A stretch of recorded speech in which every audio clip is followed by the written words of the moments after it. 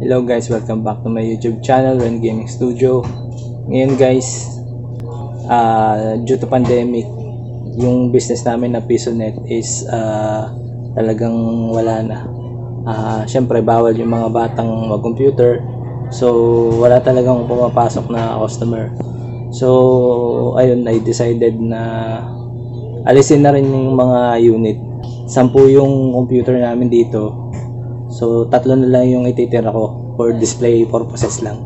Tapos yung yung lugar, gagawin ko na lang na playground ng mga bata. Parang Kidsuna.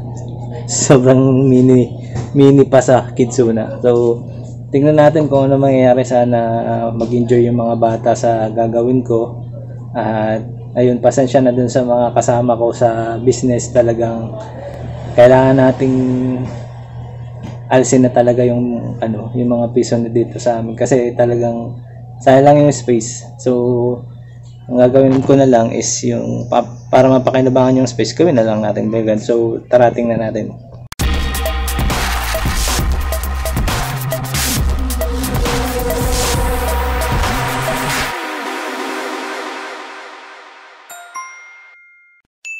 So ito na guys yung ano, yung tatlong display kong uh, pisonet. Nag-ayos pa ako dito kanina. Ito, tinanggal ko yung mga LAN cable. So, andun yung ibang mga unit. Uh, yung isa dyan, wala na laman. Yung dalawa dyan sira. Yung isa is nagana pa siya pero para magkaroon ng space dito, tinanggal ko na rin. Yung isa pa is sira din kay mama yun. Uh, yun. Yung dalawa dun kukunin na rin ng may-ari. So, medyo luluwag-luwag din doon.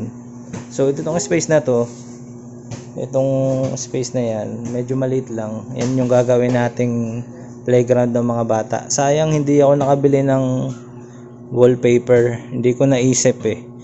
So sana nalagyan namin to para naman maganda-gandang design. So hindi pa naman huli ang lahat. Pwede namang ayusin pa to. So sa ngayon, ilalagay ko muna dito yung mga pwedeng gamitin ng laruin ng mga bata. Tara guys. Nagbili ako nito guys. Puzzle. Para malambot yung, yung sahig niya.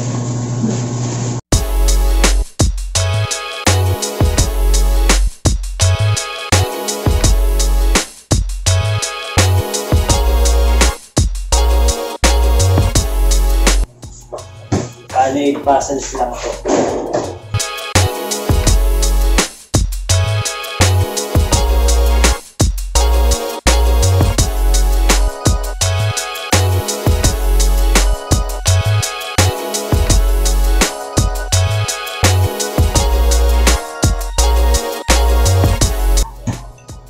Meron tayong playpen dito guys galing kay Ate Michelle. Uh, pinahiram tayo sana kakakumasya dito sa sa lugar na to kasi liit. Parang feeling ko ang laki niya eh. Tapos ang liit lang ng lugar. Testingin natin.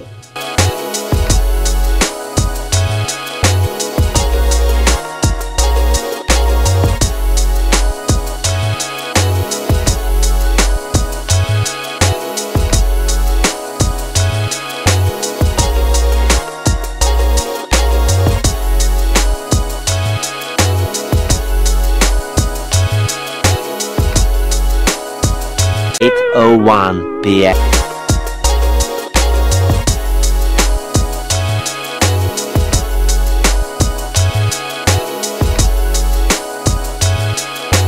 Three hundred and forty-six minutes later.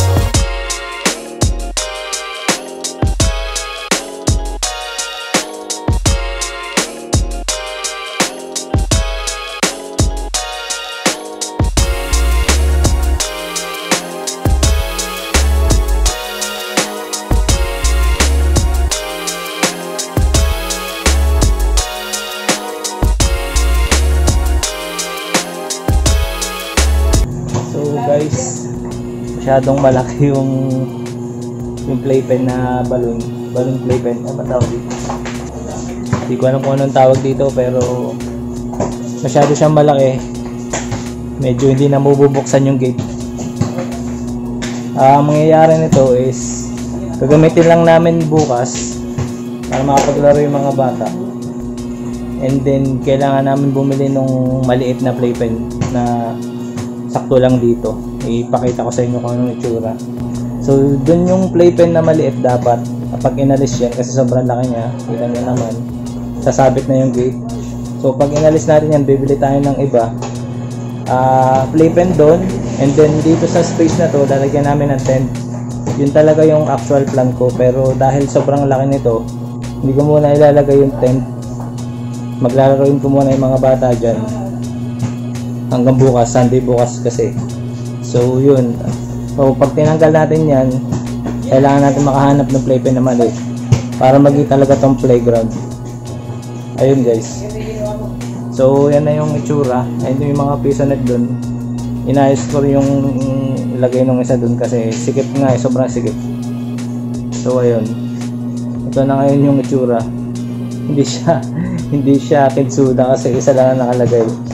Pero, mag-enjoy mga bata dyan bukas.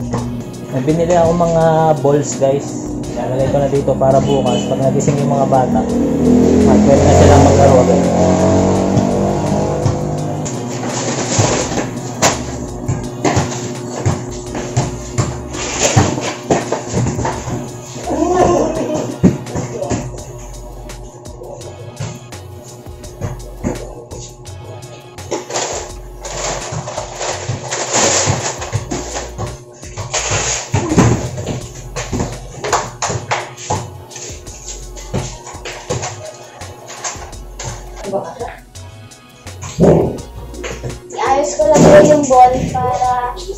Ay, yung favorite ko sa...